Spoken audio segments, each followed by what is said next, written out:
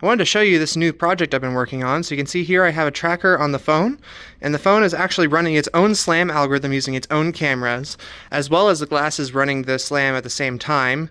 So the phone now has six degree of freedom tracking. So if I were to make it not view the tracker, so it's only going off of based off of the phone SLAM, um, you can see that we have left, right, up, down, forward, oh, almost, forward, back. It's not quite doing it.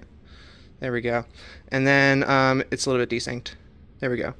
Forward, back, um, and then we have, uh, let's see, we have pitch, roll, and yaw.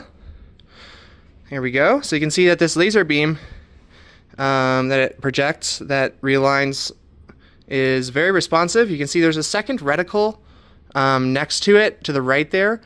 That is the original laser beam without any code modifications. You can see that the current beam that I have programmed lags a little bit behind. Might be able to see it better here.